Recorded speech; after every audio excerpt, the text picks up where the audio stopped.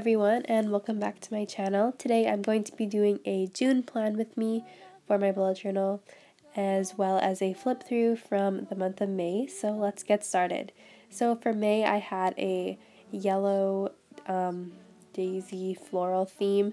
Um, I try to keep like all the photos that I use consistent throughout the month just because I like how it aesthetically looks and um, I think it's fun to change up the color every month. So this is my calendar for the month of May and then for this section I have my habit tracker and goals and highlights. I used a different format for my habit tracker this month and I really enjoyed it so I did carry that into my June bullet journal spread. So here's my first weekly spread for May.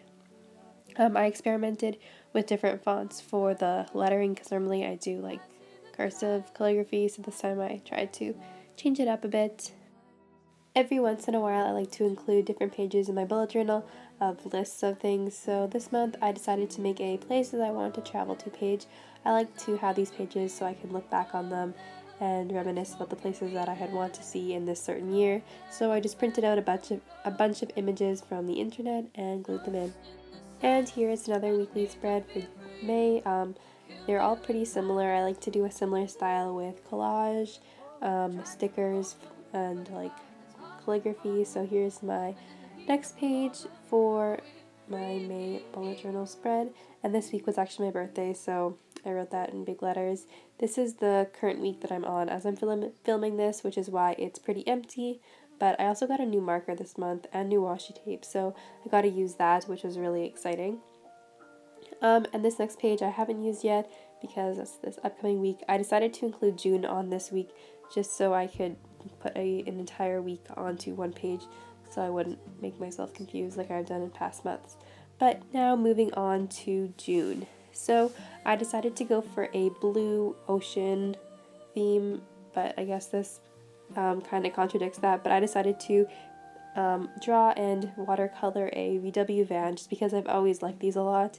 And I think blue, or the blue VW vans are definitely my favorite. So I drew that out with a fine liner and then went ahead and painted it in with some watercolors.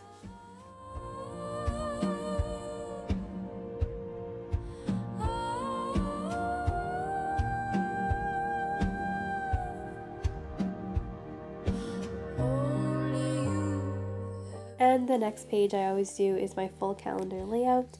This is my favorite. I don't think I could change it up. I just really enjoy seeing an entire overview of the month. So I decided to make boxes for all of the days of the month and I kind of screwed up because I made the boxes on the right end way too big compared to the other ones. But I ended up covering them with some pictures so you can't really notice, but it still kind of annoys me a bit. Um, I wrote June on the top and then I used a Crayola Super Tip to draw these like little spots for the numbers and then I added some shadow in the back with a super light gray Tombow brush tip marker.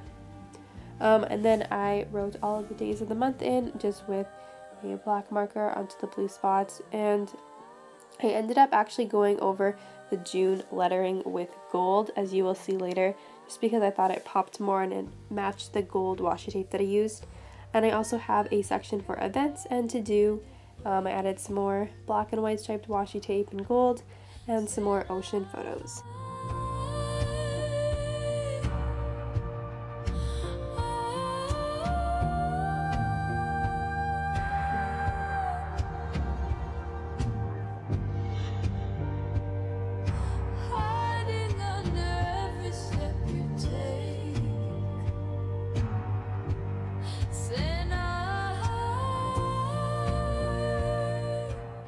Okay, so the next page is my goals, highlights, and habit tracker page. So on the right, I'm starting by writing out habit tracker in my gold metallic marker. I absolutely love this marker. Um, I got it a while back at Michael's actually, and I also did the same thing on the left with the headers.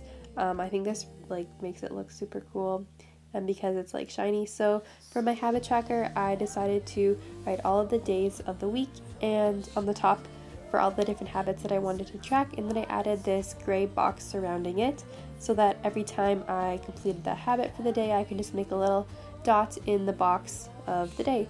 And I also added some more images that I printed off of the internet as well as some washi tape. This washi tape that I use is from Michaels. So um, around those boxes I went ahead and outlined them with a black marker just to make them more prominent. And lastly, I finished off the page by adding some bullet points and some floral doodles. And that's how it turned out. I really like this page and I like how the habits are like surrounding the title. I think it's a little bit different from what I've done in the past.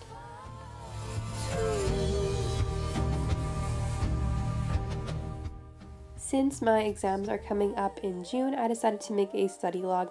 I don't know if I'm actually going to use it, but I decided to put it there so if I do want to use it I can. So I made three sections because I have three different exams. Um, I did the title in the same gold marker and added some more washi tape. And on the other side of the page I just added a Bible verse just because I had a spare page and I like making or playing around with different fonts and mixing them together.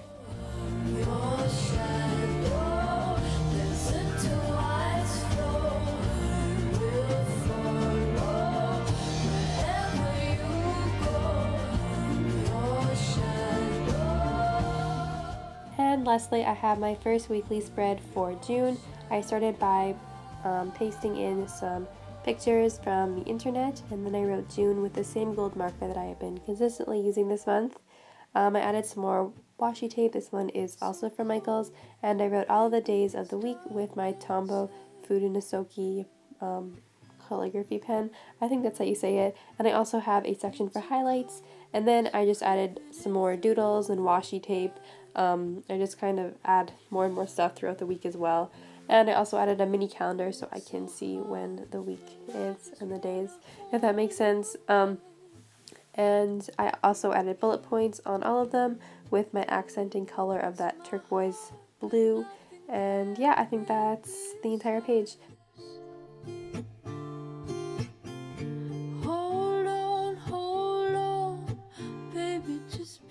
And here is the flip through for June.